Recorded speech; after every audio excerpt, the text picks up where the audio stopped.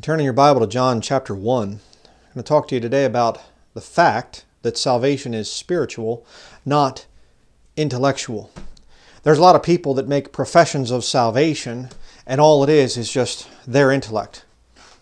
all I had to do was believe. All I had to do was have faith. Um, well, you can believe in Buddhism. You can have faith in Catholicism. You can believe or have faith in anything. Um, that doesn't save you. If there's no spiritual connection between you and God the Father through the blood of the Lord Jesus Christ, if there's no spiritual transaction that happens there, you're not going to be saved. You're not going to be going to heaven when you die. Let me show you the proof. John chapter 1, verse 12 through 13. But as many as received him, to them gave he power to become the sons of God, even to them that believe on his name. We'll get back to that. We'll go through these verses in detail. Which were born not of blood, nor of the will of the flesh, nor of the will of man, but of God. Wait, you say, wait a second here. This is this does not make any sense at all. Look at this, verse 12. Even to them that believe on his name. See, it's right there, just believe. But verse 13 goes on to say, which were born not of blood, nor of the will of the flesh, nor of the will of man. Well, how can you believe without it being your own will? You say, oh, Calvinism, Calvinism, it's the elect. It's um, um, um, God's unconditional election and, and his uh, you know, irresistible grace. He pours his irres irresistible grace on you. He One day you're just standing there and all of a sudden he's, this divine hand comes down and picks you up like this and says, you're going to get saved right now. Okay, all right, okay, let me down, you know. Uh, no, that's not it. What's going on there? Look at verse 12. But as many as received him, as many as received him, have you received Jesus Christ? To them gave he power to become the sons of God. God is the one that saves, not us. Even to them that believe on his name which were born not of blood, nor of the will of the flesh, nor of the will of man, but of God. Well, then how does where does your belief come from? Your belief, friend, comes from God's Holy Spirit convicting you of your sins and helping you to realize what this book says about Jesus Christ dying on the cross. And then it's up to you at that point in time to believe. But if you don't come to that point of conviction of sin, of saying, I'm a sinner, why would you believe? I mean, would it be called uh, believing in vain? Yes, it would. I want to get saved. I, I need to be saved. I, want to, I, I believe Jesus died for me. For what reason? So that you can say, well, then I've I put my faith in this thing and that Jesus did back on the cross, and now I can go on living just like the devil, living like the lost world. Uh, no, it doesn't work that way. The Holy Spirit convicts of sin. And then you can understand things. Then you can say, now I understand why he died on the cross. Now I understand that my self righteousness is never going to get me in. And I believe my only chance at heaven is his death, burial, and resurrection. I believe by faith. But it doesn't come from up here.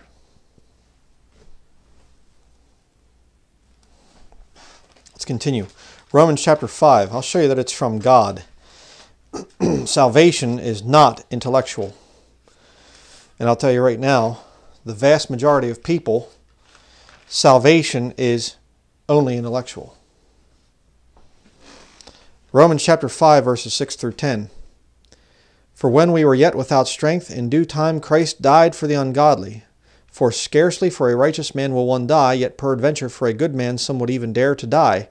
But God commendeth his love toward us, in that while we were yet sinners, Christ died for us.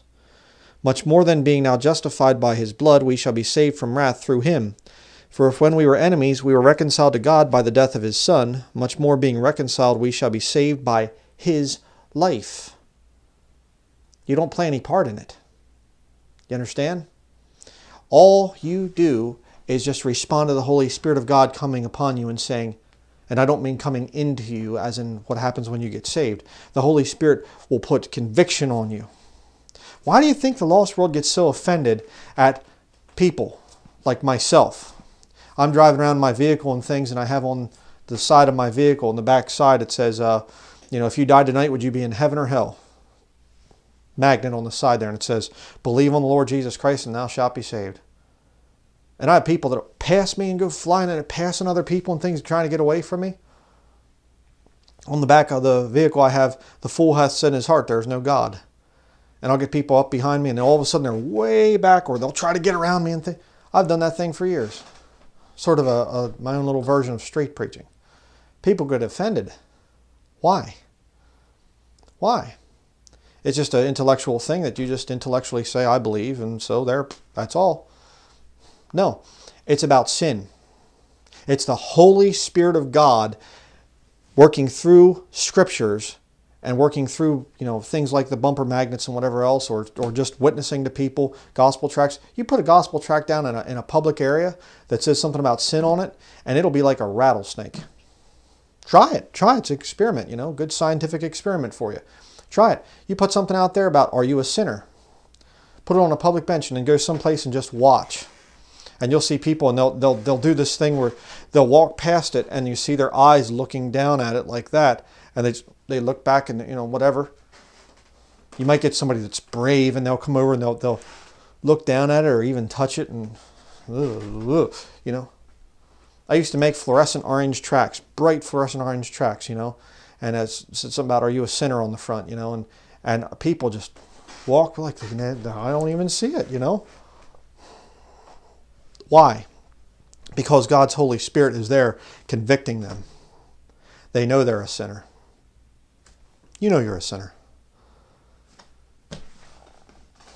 Salvation is not some kind of just a little profession that people make. Um, you're not born again by, by the will of the flesh or by the mind up here, the will of the mind. It's God's Holy Spirit that comes and says, and convicts you and says, You're a sinner, you're going to hell, and you deserve it. What are you going to do about it? That's the truth of the matter. And that's why a lot of these lost people out there, they just say they just want to kind of fake their little Christian thing and they want to go to their little church and they want to do little good works and everything else. And nice people, very, very kind people, communitarians and, and just loved by everybody. And they're everybody's friend and, and uh-huh, yeah. And they're going to hell they're going to hell. They want to form a form of Christianity that there's no conviction of sin. We want Christianity, but we want, don't want the Holy Spirit of God coming in here and telling us what to do. So we're just going to say we have professions and I believe I'm saved and I, I've believed, I believe in Jesus and you know everything else. Mm-hmm, yeah. And you get around some of them as a Bible believing Christian and they will hate your guts. And all you do is just try to talk about truth from the scriptures. Yeah. 1 Corinthians chapter 3. 1 Corinthians chapter 3. You know, you're so you're so naive when you get saved, you know. you know, we've all been through it. If you're if you're born again, you know what I'm talking about here. But you get you're so naive, you know, and, and you come out and you get saved and you and you just want to tell people and you're so excited and you go up to your Christian relatives and you and you say, guess what? I just got saved. And they, and they say, oh, really? Well, that's good. And you say, yeah, in the Bible, the, the Lord showed me that the King James Bible is God's perfect word and the other ones are from the Vatican. Can you believe that? And all of a sudden you see the, oh, uh, well, I, you know, I'd be careful with some of that stuff, you know. And you say, oh, and I, I got to tell you something else here. Um, and, and, you start to tell about truth. And all of a sudden that uh, Christian relative starts to, you know, you're getting really radical and, and, and they start to just yell at you and they'll get mad. You know, and the naive new Christian is going, but the um, uh, the it, the Bible says it. The Lord just showed me. Aren't you excited? and pretty soon you start to realize um, the vast majority of Christians are fake. You say, what'd you say? I said the vast majority of Christians are fake. The vast majority of uh, Christians are on their way to hell. They're going to burn forever they develop their own little sect of Christianity. We believe. Uh huh. Yeah. Continue. 1 Corinthians chapter 3, verses 4 through 7. For while one saith, I am of Paul, and another, I am of Apollos, are ye not carnal? Who then is Paul and who is Apollos but ministers by whom ye believed, even as the Lord gave to every man? The Lord gave to every man? The Holy Spirit of God will go in there and he'll convict people of their sin? Yes, he will. Verse 6 I have planted, Apollos watered, but God gave the increase. So then neither is he that planteth anything, neither he that watereth, but God that giveth the increase. God gives the increase. You're not born again by your own, the will of the flesh, the will of the mind. It's God's Holy Spirit. It's a supernatural thing that happens. And when you get saved, there's a supernatural transaction that's made. The Bible says your life is not your own. You're bought with a price. You're a bondservant of Jesus Christ. Now, how's that for political correctness? All the great evils of slavery. Well, guess what? It's still going on. And I'm one of them. I'm a slave. Take my yoke upon you. He comes and he puts a yoke around my neck. Why? He bought me. I'm bought by the blood of Jesus Christ. My life isn't my own anymore. God has a right to tell me what to do and tell me what things need to change in my life. And if I don't, I get a beating. You, you what? I get a beating. It's called chastening. He scourges. You get a whipping. Oh, oh it's just so horrible, isn't it? Uh, that's New Testament Christianity. And if you find it repulsive, it's because you're lost. I mean, you know, it, it just it, it has always been so incredible to me how people can profess to be Christians and yet get offended when a preacher preaches against sin. All sin is negative. Why would you get offended at a preacher preaching against sin?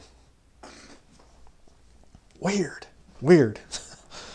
Ephesians chapter 2, verses 4 through 9. Let's read that. But God, who is rich in mercy, for his great love wherewith he loved us, even when we were dead in sins, hath quickened us together with Christ. By grace ye are saved and hath raised us up together and made us sit together in heavenly places in Christ Jesus. It's all about the Lord, in other words. Okay, it's what we're reading. It's not, well, we did this and we did, you know, it's all about the Lord. He's the one that saves you. Verse 7 That in the ages to come he might show the exceeding riches of his grace and his kindness toward us through Christ Jesus. For by faith are ye saved alone. Uh, and it is of yourselves, it's not the gift of God, um, not of works, lest any man should boast. Okay, let's go to the next passage. Uh, uh, no, actually, that's not what it said. You know, I made a video coming out a while back and I said, no one was ever saved by faith alone. Right? And I said that not because I'm against faith for salvation. I'm not against faith. But faith is what man does. God's grace has to be there. You can't have salvation without God being part of it. God's part of the equation. It's not just, well, he did something in the past and I'll just believe that and I don't need to actually talk to him or, or get him involved in this transaction. I'm just going to go, oh yeah, that back there, yeah, that's me. Okay, I, I believe that. All right, let's let me just go on with my life now. Doesn't work that way. You're not born again by the will of the flesh or by the will of the mind.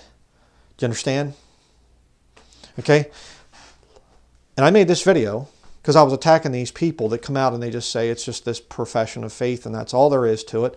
And it's, you know, sola fide, sola fide, faith alone, faith alone, you know, and all this stuff.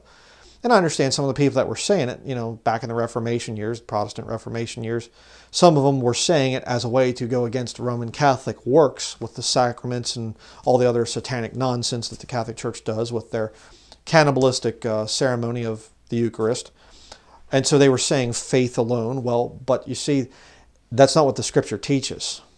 You see, faith, think about the, the equation here. Verse 8 For by grace are ye saved through faith. You're saved by grace through faith.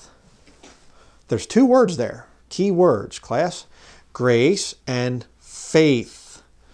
Do we have grace for God? No. Do we have faith in God? Yes. So, what part do we play in that equation? Faith. What part does God play in that equation? Does God have faith in man? I don't think so. God doesn't have faith in man. He knows what a failure man is. That's why he has to have grace. You understand? So when somebody says we're saved by faith alone, what are they doing? They're removing God out of the equation. And I can't take this finger down because then it would look pretty bad. Okay, it'd just be my middle finger. You have, I'll just do it this way God's grace, man's faith. You say, I'm saved by faith alone. Okay, then what are you admitting to? Your salvation is intellectual. My faith, my belief. That's the problem here. That's what's going on. Titus chapter 3, verse 5. Titus chapter 3, verse 5.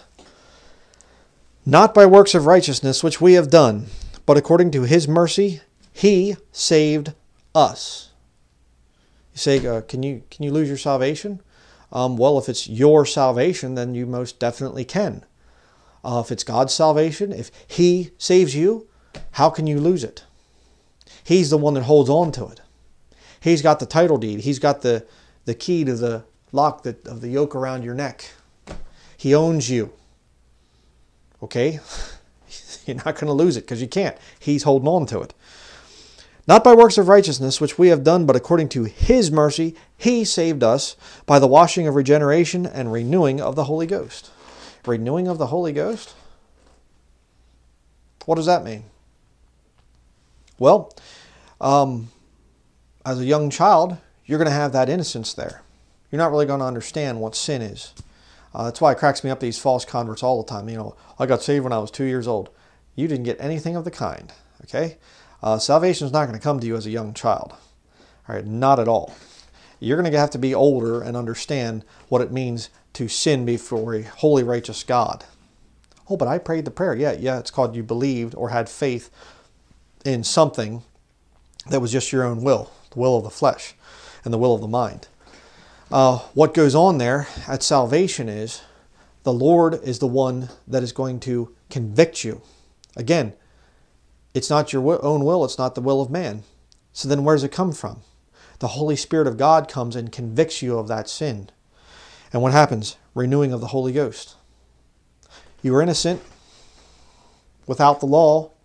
You didn't understand the laws of God. But when sin came, you revive and you die. All right, you see? In other words, you are you're alive there as, you know, sinless in God's sight, and then you get older and all of a sudden you sear that conscience for the first time. You know you shouldn't steal and yet you did. You know you shouldn't lie. You know you shouldn't lust. You know you shouldn't swear. You know you shouldn't whatever. And you do it of your own free will. And all of a sudden, that conscience gets a little bit blackened. And then you do it again. And then you do it again. And then you do it again. And you keep messing up and messing up and messing up and messing up until finally the Lord brings you in contact with something, be it a gospel tract, be it a, a magnet on somebody's vehicle, be it a street preacher out someplace, somebody walks up to you and witnesses to you. You actually have a born again relative or coworker or something like that. Whatever it is, the Holy Ghost brings that conviction into your life and says, You're a sinner. What are you going to do about it? And you say, I am a sinner. I need to be saved.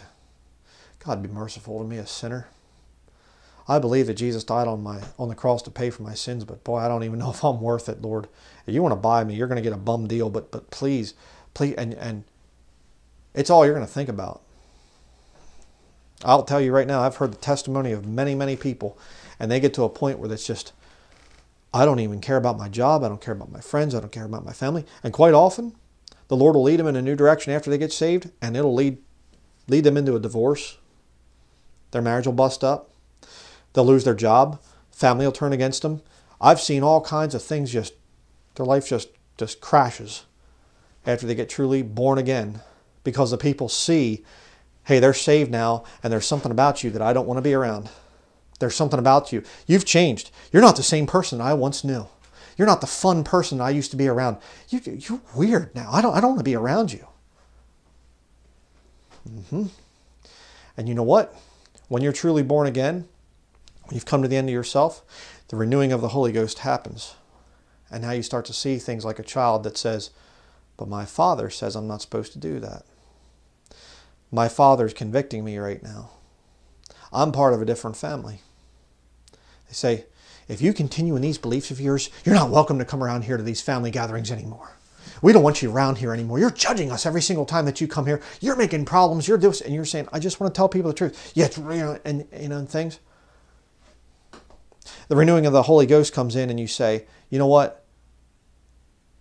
It great. It grieves me that my family's treating me this way, but uh, I have a new family now. I have a new father now. You don't want to be around me? Okay." but I've been adopted spiritually. Goodbye. We all have family members that we haven't talked to in years, and it only gets worse with time. Friends, co-workers, whatever else that have turned against us as born-again Christians. But all the modern Christians. Oh, they're just loved by everyone. yeah, uh-huh. Because they're false. They're false. So I, I just don't know if I'd want that. I mean, if real true Christianity is about people turning against me and me becoming unpopular, I don't think I'd want that. Yeah, well, I can see why you wouldn't because Jesus, he wasn't at all unpopular and, and he was loved by everyone. If the world hates you, it hated Jesus before it hated you. You're going to follow Jesus, but you're going to get along with the world? Right, right.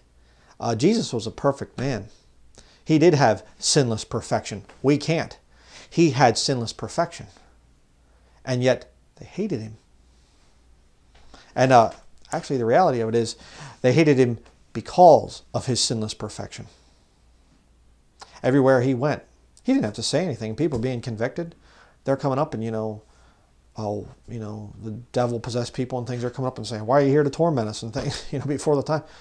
And Jesus just standing there. He's going, what, you know? And how many times do you get that as a Christian? You come walking in someplace and all of a sudden the people start getting uncomfortable and whatever else. Yeah, because you're part of the body of Christ. God saves you. It's not your decision that you've made and it's all about you. It's not intellectual. It's spiritual. 1 Peter chapter 1 verse 23 through 25. We'll finish here being born again, not of corruptible seed. Are you corruptible? Yes. Is your seed corruptible? Yes. We are genetic copies of copies of copies of copies of copies of copies. We've lost, I believe, genetic material like crazy. I mean, we're, I think we're really ignorant compared to the way they would have been thousands of years ago. Um, I mean, we're not even going to get into the air pollution and the EMF fields and the, all the other stuff like that that just makes us very, very sickly people. Uh, we're not that intelligent, okay? Uh, I, I, could go off on a big rabbit trail there, but I'm not going to. Um, but it doesn't take much uh, understanding to realize that, yes, we are corruptible seed. But all you got to do is believe. Believe, just, just, just your belief. If you believe, you're in. You can just go, I'm saved. okay, you're saved. Why? I just believed. I don't have to talk to God. I don't have to ask God or anything else, you know. I don't have to wait and see, you know, what's the Lord going to change in my life, whatever else. Is there any signs of me actually being genuinely converted? I don't need it. I just believed. There you go. You know, faith alone, faith alone.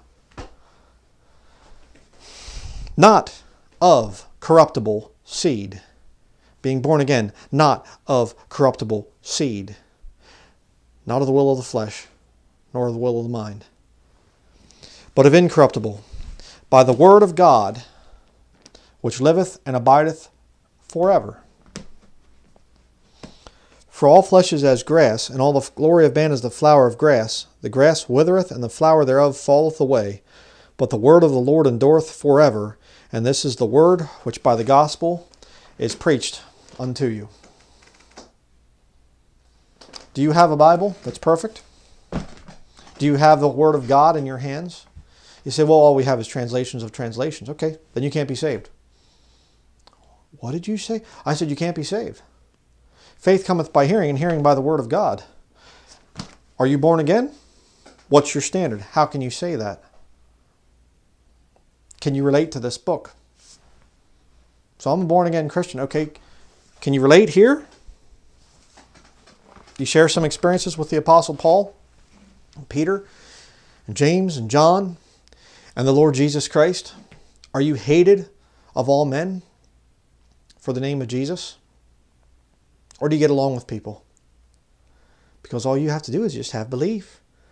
Isn't that so? I mean, isn't that so nice? You go out there onto the streets and you say, We're going to go soul winning. And you go out there and you say, would you like to go to heaven when you die? Well, the Bible says here that all have sinned. Okay, we can all agree to that, can't we? And so all you got to do is just believe in Jesus and just pray this prayer with me. Would you like to pray this prayer with me? Sure, of course you would. And you lead them through the prayer. You say, friend, if you've prayed that prayer for the very first time and you truly meant it in your heart, I can tell you today that you're going to go to heaven when you die. You know, it's thousands led to the Lord. Yeah, thousands led to the devil. Thousands led to hell. There's no new birth there. There isn't anything. It's the will of the flesh you see. Corruptible seed. All you have to do is believe. How's God get into that equation? Well, just some kind of a past event, uh, just like Islam. Muhammad was a past event. Buddha was a past event. Any religion, past event. How about today? Can you meet God today? Can you have a supernatural change in your life right now? get in contact with Jesus Christ. Jesus Christ is not a historical figure to those of us that are born again. We serve a risen Savior. I speak to him on a daily basis, and he tells me what to preach from his word. I have a personal relationship with him, and it's supernatural. And I've seen times when I'm going to do some kind of a thing, I got my mind made up, this is the way I should go, and the Lord just goes, nope. And he slams the door shut. And he yanks me away from that thing and I, i'm going lord i don't know why what I, thought that that was what you wanted me to and the lord's just wait. Wait child. Wait.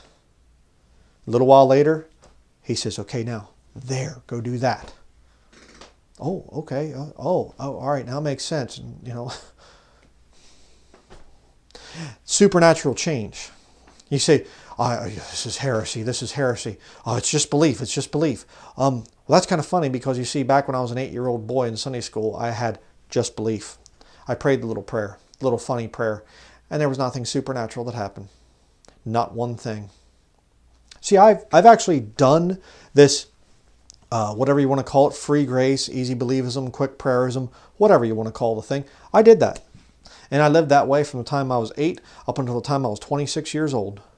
Almost 20 years of life like that.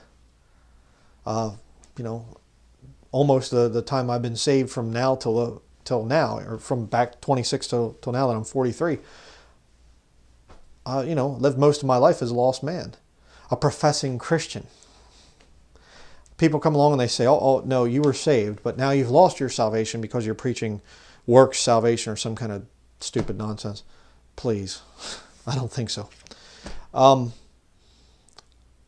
you need to make sure of your salvation you need to make sure that it's not the will of the mind or the will of the flesh, not of corruptible seed. You need to make sure that you haven't been led astray by some false prophet like Jack Hyles or one of these other guys, these Baptists out there, that there's no repentance, there's no changed life, there's no turning from sin. None of that stuff. They can't promise you a changed life. They can't promise you any kind of victory over sin. You're not even supposed to have that stuff. That's a lordship salvation, they say. Absolutely ridiculous. Uh, this ministry exists to preach the truth of God's Word. And um, I'd be a lot more popular if I said all you got to do is just uh, believe. It's faith alone. That's all it is. Just pray this simple prayer and you're in, friend. Now send your donations. Um, I tick off a lot of people because I preach hard against sin and I don't compromise. And so a lot of people get angry about that. And I've had a lot of people that uh, they're little believers. They have their little faith alone thing. And they kind of hang around, you know, Brother Bryan's ministry and King James Video Ministries, and we're blessed by some of these really neat sermons that he puts out. And all of a sudden I say, boom, against some kind of a sin, and they, well, how dare you? And, and then they go off, and then they're stabbing me in the back and whatever else. Why? Because they're false. Great peace have they which love thy law, and nothing shall offend them. Do you love the law of God? Do you love to look at His Word and see a time when it says, you shouldn't be doing this, you shouldn't be doing that, it condemns sin, and Lord convicts you? Renewing of the Holy Ghost in your life, and you say, oh, ooh, yeah, yeah, I shouldn't be doing that, Lord. Oh, please help me to get rid of that thing. Not sinless perfection, you see, but a sinner saved by God's grace. And God will have grace for you. There are still sins today Okay? Just recent types of things here. After all the years that I've been saved since I was 26 years old, all these years later, and the Lord just waits for the right time to convict me of a sin and say, son, that thing needs to go out of your life. Well, Lord, I'm sorry. I've been doing that all these years. I didn't. I, I, I never saw that in the scriptures before. I didn't understand it. And Lord, yeah, okay, but get it out of your life right now. It's it's it's hurting your walk with me. The Lord is going to be gracious as a loving father. You're his bondservant. He owns you, bought you with a price. But he's going to be gracious. And he will wait for the right time to start convicting you of sin. And he'll say, son, daughter, stop. That needs to go. And he'll give you victory over that sin. But if you don't want that, well, then just go on and believe and say, I believe that Jesus died for my sins, and I believe the gospel, and I believe this, and I don't need a changed life. I don't want supernatural um, anything supernatural in my life. I just want dead religion. So I can go to my little uh, church building, my little social club, and we can talk about Donald Trump and the weather and sports. Mm-hmm. Not for me. Get it sorted out. Okay? That's going to be it.